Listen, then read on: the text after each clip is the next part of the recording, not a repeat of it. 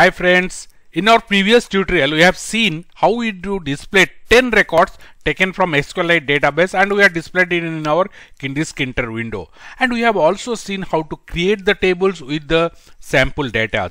Now we'll extend that tutorial and we'll just run this and we'll add one button to the each row. Here you can see one button is added and once we click this button it asks me to confirm whether I want to delete this ID 7 and the name of the student it is given and asking me to confirm. I can cancel it or if I confirm this then it will delete the record and show me the result. And the same time once I click OK that here you can see that view is also refreshed. You can see 7 the record is not there because we have deleted it. We'll learn how to do this. We'll start from where we left in our previous tutorial. Just slightly increase the width and the height also we have reduced. And all this creation of tables and layout, everything we have discussed in our previous tutorial. Just see here, the link is there and link it as the description also you can download. And this entire source code also you can copy. So here it is the link is there this query is there this query using and inside the for loop we are displaying all the 10 records. Now to start it first we'll what we will do we'll push it inside a function. Instead of directly using we'll use a function. And we'll say that above this we'll say define my show. Why we are using a function I'll just uh, explain to you. So for that uh, we need to maintain the indent or the gaps. So all our now the code is inside the function. That's all. And because it is inside the function so you have to call it. Otherwise there will be a blank window will be there. So for that purpose let me come out here. I will say my show now the data will be visible. Let's just check it up how it is. Here it is. So data is visible. But one thing now because all are left aligned now let us make it center aligned. So we'll get center aligned. Let's see again how this looks. Here it is. Now we'll place the buttons uh, in the right side of each row. While displaying note that inside the function we have two for loops. One is here outer and one is inner. The button uh, the inner for loop is to place the columns or student you know there are five columns are there id name class mark and gender. So these are will be placed based on the j value j 0 1 2 3 4 so that is why. And when we are placing the button that button should come in the outer for loop because each row will have one button. So what you will be doing is e equal to is the button and dynamically these buttons will be created. So let's say button and my underscore w my parent window. Now what should be there? You I'll just press a cross or x symbol. So this is just a character only. Now what I even mostly important is what command I am giving. Command equal to now lambda sorry equal to da lambda. Now here two variables I will be passing to a function which will do the delete operation. For that I am creating d d equal to student id student 0 id is 0 name equal to uh, because I want uh, along with ID the name should be displayed. Though for the deleting I am using the ID only. I'll use this. So uh, what I will say uh, this is then n equal to I will take it to the next line. That's easier. Okay here n equal to fine. N is the name name part I I'll be taking it student 1 so now what I am going to do is here now I will uh, student 1 now I am calling the function my delete. And let me just take it slightly here I will give some space also my delete. And here I am passing D and N both the things. So what happens? Let me just bring it to visible. Okay. So my delete so far this function we have not written. So we'll place it on our grid. Now while placing the grid we have to take care that it aligned with the row not with the individual column. So we'll say e dot grid. Now here row value is i. Because i takes the value i0 for each row i value is constant so I 1, 2, 3, 10 records. So I starts from 0, 0, 1, 2, 3, 4 like that. So when we are playing the uh, looping through in the external for loop, I value changes increment by 1 once the loop starts. So I is there. Then I am giving the value for column.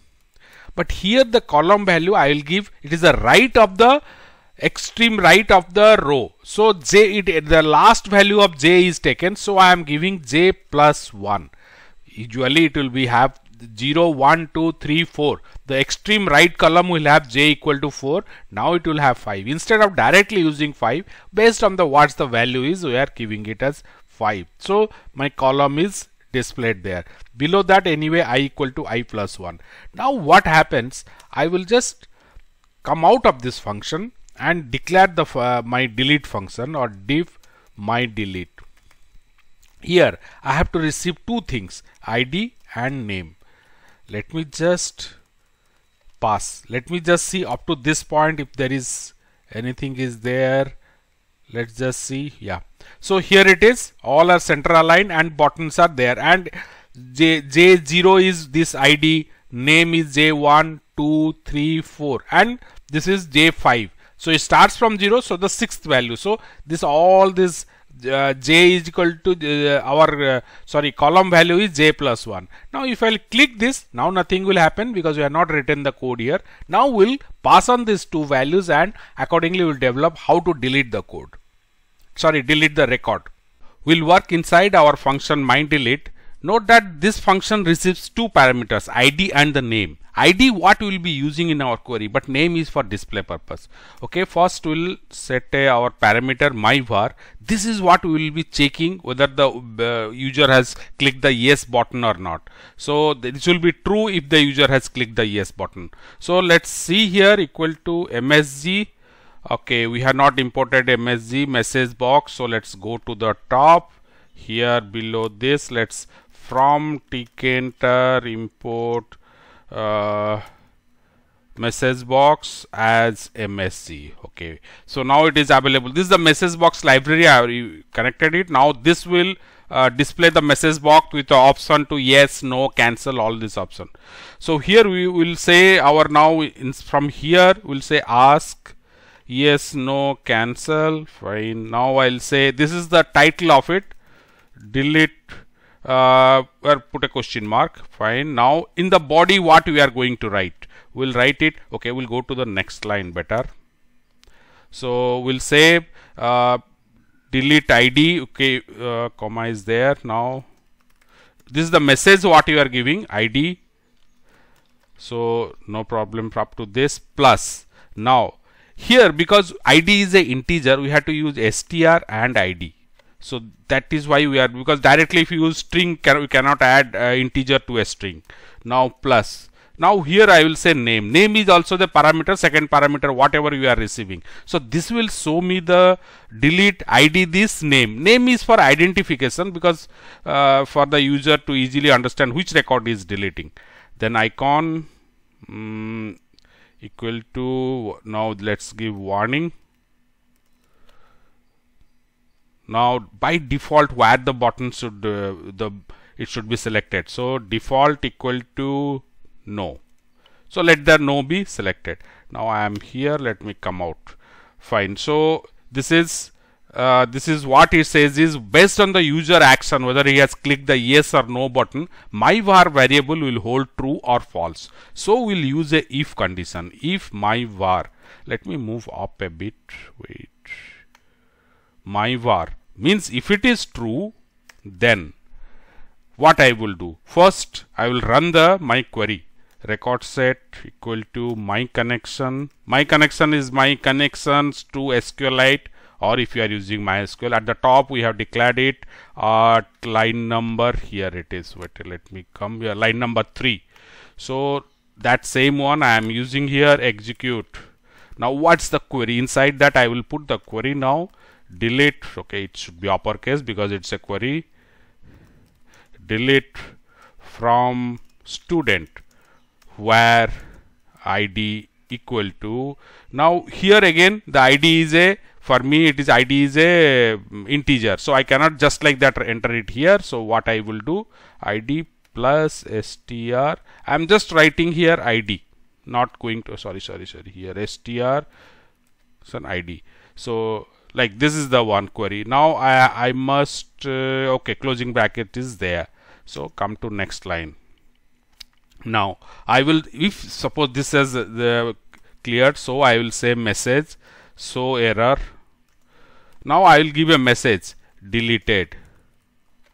Now i'll say again number of records deleted. Now this is what now this here now database returns me in how many records are deleted. And that is also can be used as a confirmation that the records are deleted. So this is equal to plus. Now again str because it's a integer I will get it. So our record set or r set dot row count. Row count. So this is what actually I will row count this is what will give me return me the number of records. So number of records deleted one. A little space I will give here so easily I can identify. So that is that's all. But now the records are deleted user got the message. Now something I am missing here. What I am is I have so far I have not refreshed my view. Okay that will wait and see. Now up to this point let's see. This is the output here all the records are displayed with a, each record has a, or each row has a button at the right. Now let's delete one row. So we'll say let's delete the record number 7 so the message come delete id 7 my genre of the name is also displayed.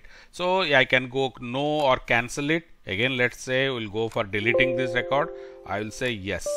Now number of records deleted equal to 1 so one record is deleted now remember that id number 7 but what has happened? This id number 7 is still visible because we have not refreshed this particular view. How to do that? We'll do one more thing. We'll close this. And here that is the reason why the display part we kept it inside a function. See you see at line number 10 we have called a function my show. And this particular one we are calling it at the initialization or at the beginning. Now the same thing we will do once the delete operation is over. What we will see we'll just call my show. Once we are calling my show the view is refreshed. Now let's now let us let's run this and see how it works here it is. You can see the seventh record we have already deleted. So after 5 6 seventh record is not there eighth is there. So now let's delete the sixth record. So do you want to delete 6 yes. Number of records deleted 1 you see now after 5 6 7 both are not there and 8 so this view because this function is called so the view got refreshed and it reflect it take a fresh data from the uh, database. So fresh 10 records are taken. So now you can see up to 12 records it has gone. If i'll delete one more let me remove the third record. So yes so now I'll get 13 up to 13 it has gone. So 1 2 3 is in between gone. So that's all. That is how we can take the user confirmation and delete a row. We'll next we'll move how the edit process and all how this works how you can entirely delete the uh, table and all we'll will work on those areas. So I'll request you please subscribe to our channel and press the bell icon so you'll be notified as and when we add new new tutorials. And one more thing if you have any doubts, suggestion or ideas use the comment section below to post it. Please share this with your friends and thank you for watching.